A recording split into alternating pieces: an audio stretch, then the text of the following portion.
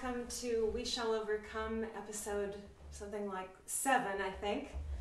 Um, tonight's program is uh, generously supported by two very special governing members of the Baltimore Symphony Orchestra who um, do so much to keep the orchestra going and to um, show support to the musicians. So, thank you so much to them.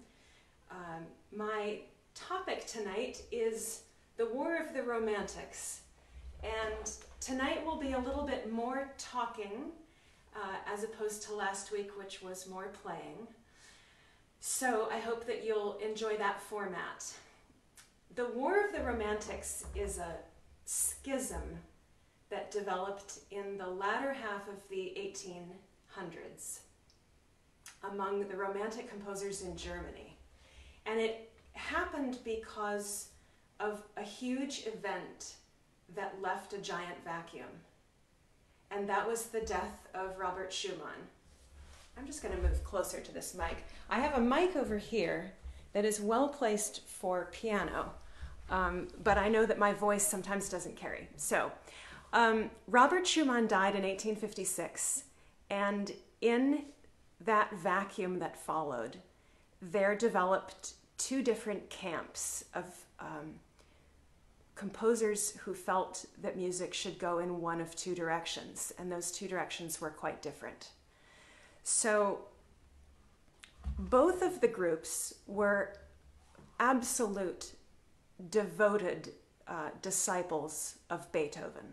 They were both motivated by that incredible adulation and admiration for Beethoven, who had been dead for decades already. Um, the first camp that we're going to explore tonight is the conservative camp. And this camp consisted of Schumann when he was alive, uh, his wife, Clara Wieck, wonderful pianist, composer herself, uh, Johannes Brahms, who was their dear friend. And side note, next week's We Shall Overcome is going to focus on Robert and Clara and Johannes and that amazing friendship with so much cross pollination of musical ideas and, um, and friendship and love. Uh, so that's the basic cast of characters. There was another person who was heavily involved, and that was Joachim. Joseph Joachim was a, a violinist celebrated all over Europe. And so these four people, um, we could describe their position as conservative they thought of themselves as conservatives because they thought that Beethoven had achieved eternal greatness and that everything that he accomplished should be preserved. So there were two ways that they thought that that was to be accomplished. One was that music should be absolute music, music for music's sake, music not to tell a story, music not to illustrate uh, an image, music just for the pure, um, the pure sound, and very importantly, the form. So, another thing that they wanted, the second component of their school of thought, was that old genres should be preserved. So they wanted to pour their romantic, surging idealism and utopianism and suffering. They wanted to pour that into old vessels like sonata form and song form and rondo form and symphonic form. They thought those giant, you know, architectural manifestations were really important to preserve. So it sounds a lot like the conservative tradition now, wanting to preserve what has gone before that is so lauded. Uh, the, the romantics in this camp had a really good platform for getting their ideas out because Robert Schumann was probably the most celebrated composer in Europe at the time. Clara Schumann was one of the most celebrated concert pianists at a time when that wasn't really a thing yet. Uh, and as a woman, boy, she is a, a she was a force of nature and if I could go back in time to meet one person, it might be her. My piano is actually named after her because it has a big Brahms sound. Um, so they had the composing they had the performing, and also Robert was a writer. He was the editor of a journal called the Neue Zeitschrift für Musik, the New Journal for Music. And that was where he wrote lengthy articles about these ideas that he and his compatriots had. So we're going to hear from Brahms first. I'm going to play two rhapsodies from Opus 79. They are very much romantic in their character but very conservative in the fact that they revere these old forms. So the first one in B minor is kind of an extended song form, which is ABA, and then at the end there's a coda. But the A section itself has a lot of element of sonata form in it as well. So that's a little bit more of a complex structure. And the second rhapsody is pretty much straight ahead sonata form with two themes that um, battle one another, that are presented, they battle, and then they're presented again and they resolve. So here are Brahms' Rhapsodies, Opus 79, numbers 1 and 2.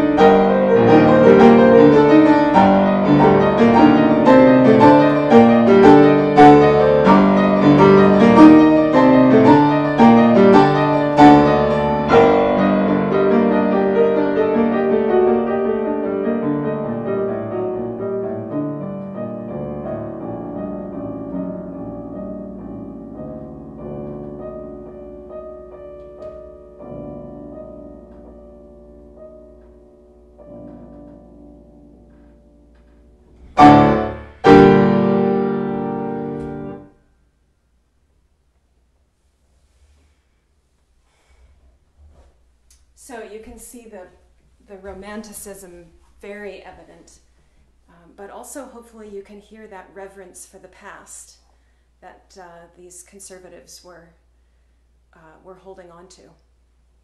So let's visit the other camp now. Um, these guys were the progressives. These guys thought, yes, Beethoven was a hero. Yes, we absolutely can't imagine what could possibly come next, but we must. They called themselves the New German School, and uh, they thought of themselves as progressive, and they wrote music they called the art of the future, the music of the future. So, clearly, very different um, mindset, taking the same event, uh, Beethoven's work, and uh, having a completely opposite response to it. So, um, the two main components of this camp were Franz Liszt in Paris and Richard Wagner, who was in uh, Dresden, but also spent time in Venice. So these guys, as opposed to music for music's sake, absolute music, these guys wanted to go in the direction of program music, which is music that does tell a story, music that does illustrate an image or bring to mind something extra musical. Um, and they actually took that even farther. You may know that Wagner took this really to the incredible extreme. His operatic experiments in Bayreuth became the artist, um, all of the artwork swirling together the costumes, the scenery, the libretto, the music, the orchestra, the singers, the stage, um, all of it swirling together into that Gesamtkunstwerk idea, the, the total artwork. And that's where, um, that's where the end of this was, really, the end of this movement. That all of these arts were cross pollinating each other. Um, so program music was part of their mantra. And the other thing is that they weren't interested in salvaging and preserving those old forms. They didn't want to go to a museum. They wanted to write new pieces. And music that tells a story doesn't lend itself very well to sonata form. Sonata form is too, is too strict. And so they blew up all the boundaries and started writing things that had no form at all, things that were through composed. The piece I'm going to play for you next, which is an illustration of this camp, uh, it's a piece by Liszt. It's called the Lugubre Gondola, which means the, the funeral gondola or the sad gondola. Gondola is the boat that's used in Venice to ferry people around. And um, it is through composed, it doesn't have a set structure. I mean, it does have sections, uh, it's not random, but the sections aren't ordered in any particular way that follows a, um, a pattern or a path. Uh, it's a little bit more stream of consciousness. And there's an interesting uh, history behind this piece, which is that um, Liszt wrote it when he was visiting Wagner in Venice in late 1882. And while he was there, he had a premonition of Wagner's death. And he, I think it was a dream. He dreamed that Wagner died and he saw the funeral gondas, which are all shrouded in black, ferrying through the canals of Venice. And he woke up and wrote down this piece. Uh, it's very intense, uh, passionate, and grief stricken, and uh, it's actually almost hallucinatory. It's very much a late work of Liszt. This is not one of his showpieces. This was one that tells a story, conjures an image. So it's very much an example of program music and this new form that was much, much freer. So hopefully you'll really hear a, an enormous difference between the work of these two men. Um, this might be a little bit morbid, but I think there are a lot of people in the world right now who have lost loved ones and have not been able to um, gather with family and friends to say goodbye, and that's such an important part of grieving. So I'd like to dedicate this performance right now to those people who have lost um, loved ones and friends and family in this crisis, and um, this is for them.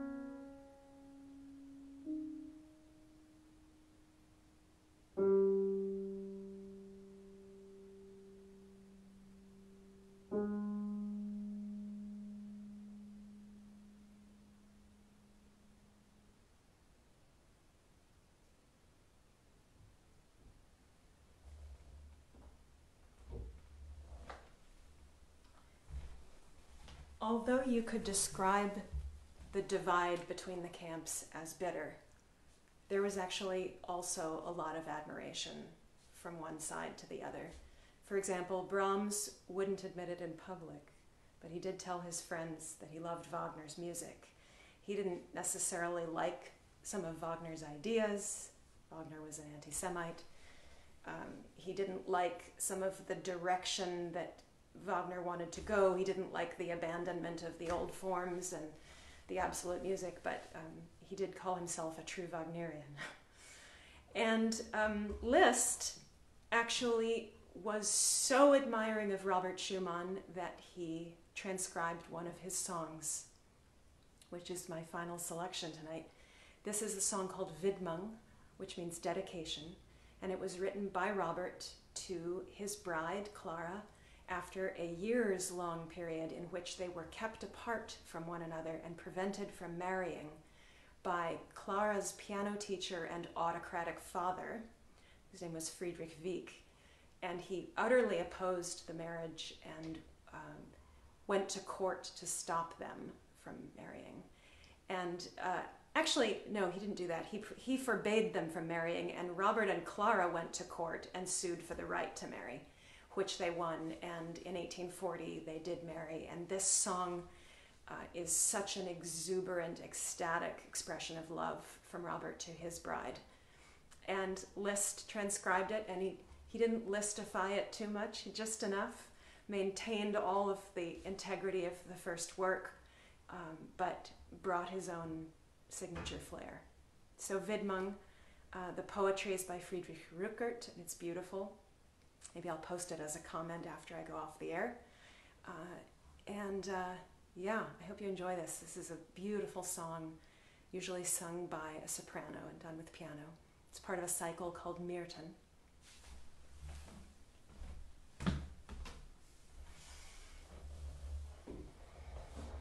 Mm -hmm.